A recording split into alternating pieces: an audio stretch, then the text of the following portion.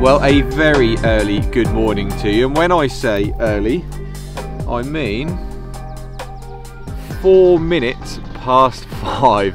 Really early start, but that's because today I'm doing something that I've never done before. So if you follow our channel, you may remember back in, I think it was January or February time, we had some really good fun perch fishing on lures.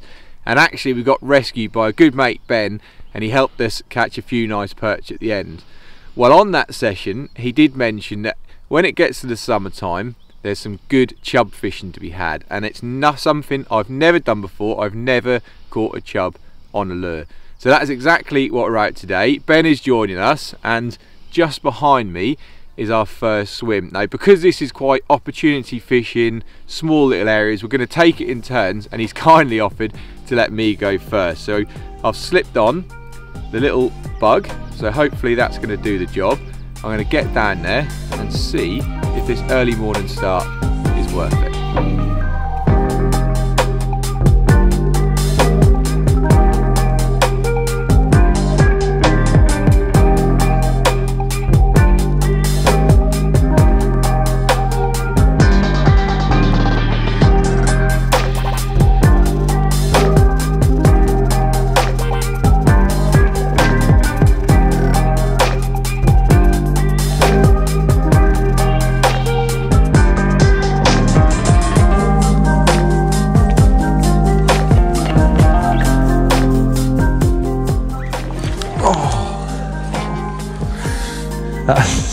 strike. Well, that's the first opportunity missed. It's so tight, these little swims. A couple of casts in there, it's come up and smashed it on the surface, and I don't know if it was me being a bit too eager, but no hookup. So rest this now, move on to next one. You can probably see these swims are tiny, clambering through, stinging nettles, they're pretty much as tall as me, but one go, we get another shot at it, even better.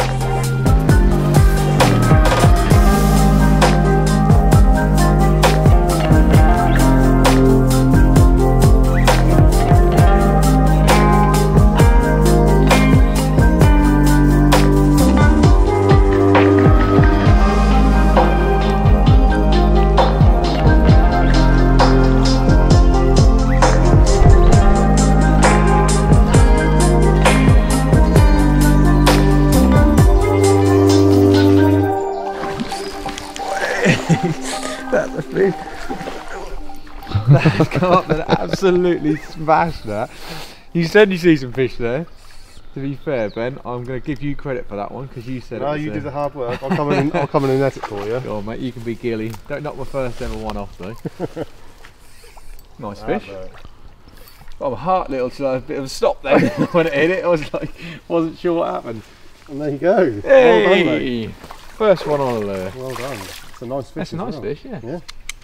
Well, there we go. My first ever chub on a lure. And I was kind of saying, what are the takes going to be like? Well, there's no messing. They absolutely smash it. This one came up and engulfed it. And then the brief seconds after that, I didn't really know what happened until it slipped in the net. But what a beautiful fish. Loads of of bronze colour. And if I just spin around a bit, a little orange mark just under here. So I'd certainly recognise if we came back in the future if we caught him again. But I'm not going to keep him out too long. And I've only fished about three or four swims. So I could probably fish another 12, but I better let Ben have a go. So we'll get this one back in the water and see if he can catch one.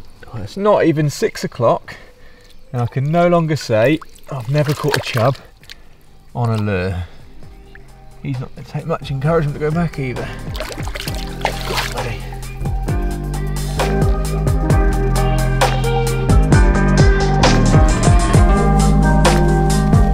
Watch the uh, expert give it a go now.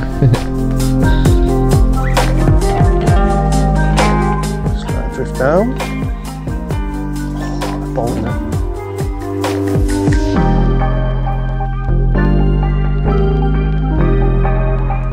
see him now? That's spooky, aren't they?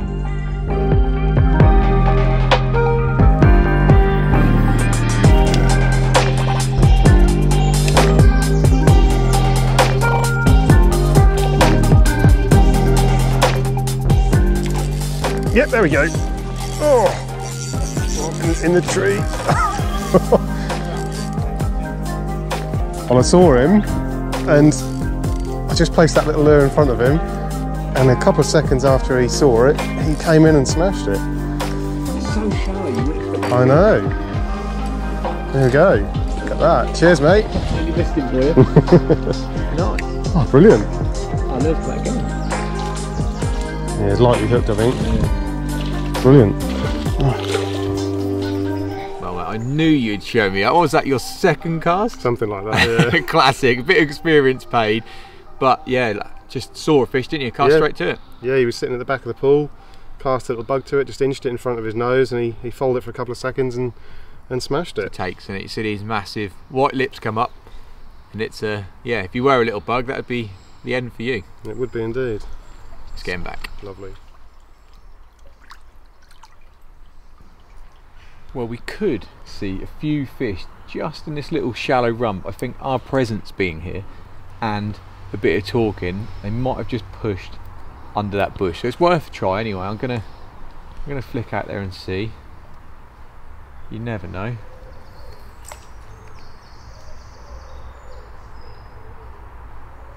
Really surprising how camouflaged they are. You think you'd see them really easily, but they are quite hard to spot.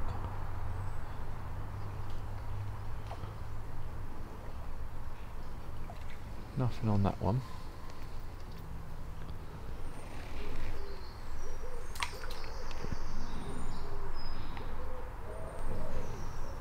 We're literally only giving it like two or three casts per swim. The, the one I missed, the one I had, and the one that Ben had all come in the first two casts. So it's, it's pointless sitting somewhere for, you know, 15 minutes flogging it away because if they're there, they'll grab it when it hits the water, that hear that plop, and they come out and smash it. I think we might have spooked these ones. But let's have a look at a different spot. Well, not a bad start to the session, is it? I must say with chub fishing, it's quite limited time. So we got up ridiculously early, like I said. Probably as soon as this sun breaks, our chances will start going down by the minute. So it's nice and important to get out early and get fishing. But we've got a couple of hours left yet. So we'll just quickly talk you through the tackle that we're using. Now obviously you're holding it all the while so it needs to be quite nice and light but my rod I use it for pretty much all my lure fishing it's a little medium spin in a 5 to 21 gram you know it's just heavy enough and stable enough to pull these fish out of snags because they are quite small little swims but it's nice and light so you're not going to rip any hooks out or anything like that small little reel loaded with 10 pound braid and then because we're sight fishing you would have seen most of the fish we're casting to there's not many pike in here we've got a little fluorocarbon trace and then the one that's done the damage so far is this little brown bug. They're wicked little lures, just imitating stuff that's falling off trees really, sort of slugs, bees, anything like that.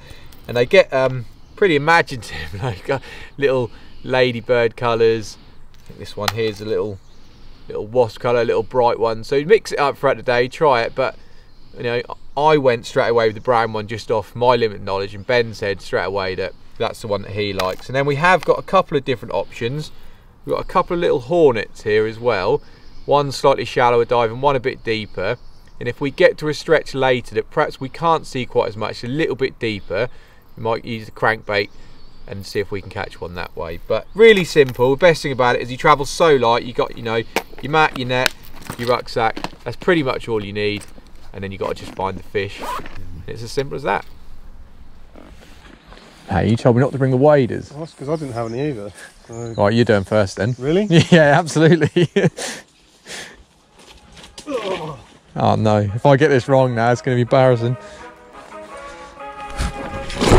We're over. I'm alright. yeah, I'll wade it, boy.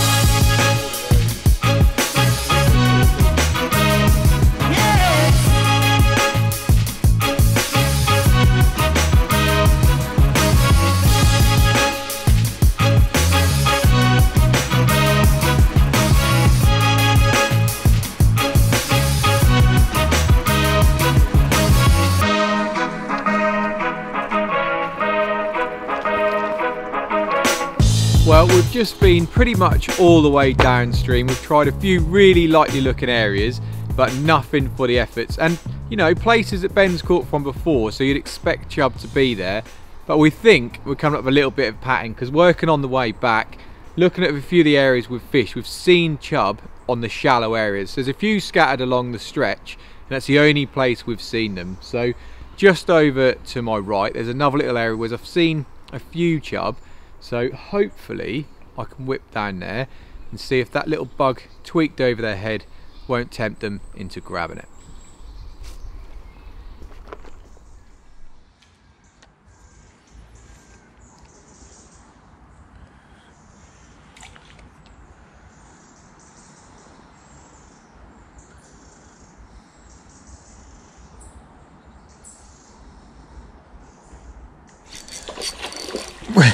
I watched him come up and get it.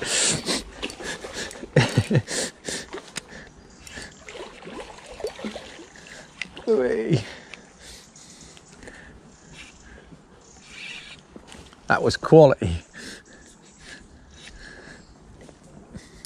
That was quality. I literally watched him come up and get it. I'm gonna need you to do the netting on us.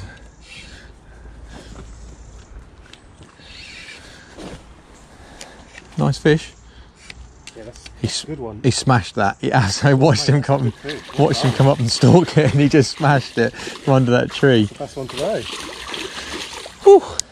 Well, that was so good. I cast that little salmo bug just in the overhang canopy, and I watched this fish turn, and he came up so slowly. I thought, is he going to take it? And then he absolutely smashed it, and that lure is completely engulfed in its mouth. So if anyone's ever wondered, do these fish come up and hit lures? I think that is all the proof you need.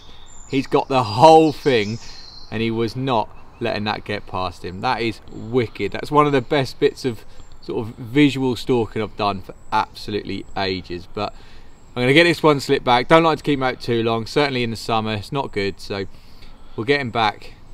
And for me, that's mission accomplished. This sun's up, but we've got a couple of swims to try on the way back to the car, so we'll do that now.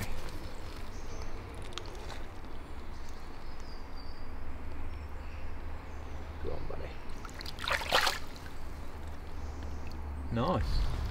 Well, three fish in the morning, we cannot complain about that. Uh, to be honest, I would have took one when we first came out, just to try and get one on the scorecard, but I think you get a bit greedy, don't you? You're trying to fish away and conditions aren't the best, to be honest. It's The sun's really come up, and we've actually split up now, so I've left Ben fishing away. We're going to try and work our way back to the car and just see if we can nick one more bite before we we head off. But just these little bugs we've been using today, they're really simple to feel. All you're trying to imitate is something that's fell off the tree, uh, like a slug, anything like that, a bee, and the chub basically hear the plop and they come up and smash it. So try and sort of plop them in from a height if you can, get that plop, then working them back, it's just a little twitch and retrieve, just so it makes a little rattle and a bounce on the surface. And they, they certainly haven't been shy of hitting them this morning. So I think this swim is probably done. Three or four casts on each is all you need. So I'm going to keep plunging my way back to the car, see if we can't just have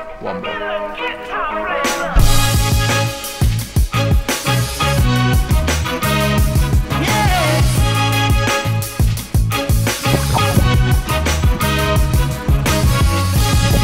Brought your friends with you? I love that he just booted you. That made a great thumbnail. I broke my leg with a horse, it'd be a great fun. Oh, some kayaks, isn't it? What's he doing?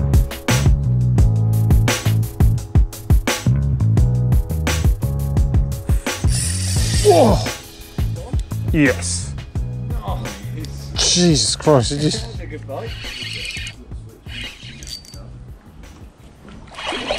I'll have to go down after this, I think.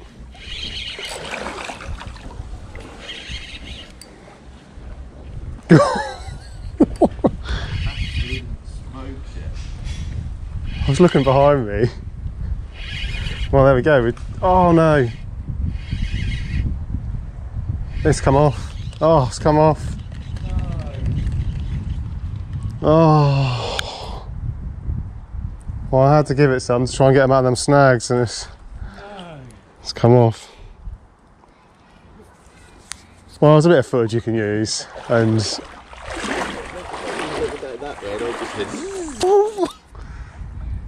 to be fair, they are small trebles on that, and they aren't bent out though. That was a good fish, I think. Yeah, think it was a good fish. I, mean, I got the take on on the GoPro.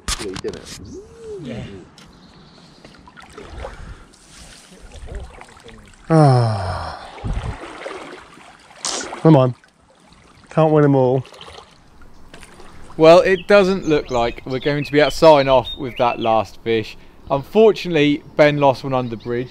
Really go for you, mate. It looked like a nice fish as well. And then a little tiny a take as well. But we've left the most ridiculous jungle swim till the end. Stinging it was a way taller than me, probably like eight foot tall. There's a one last effort, but a few casts in here and it hasn't looked good. So it's been better than expected, you know, to land three fish. And for me, you know, a personal best on lures. First time I've done it.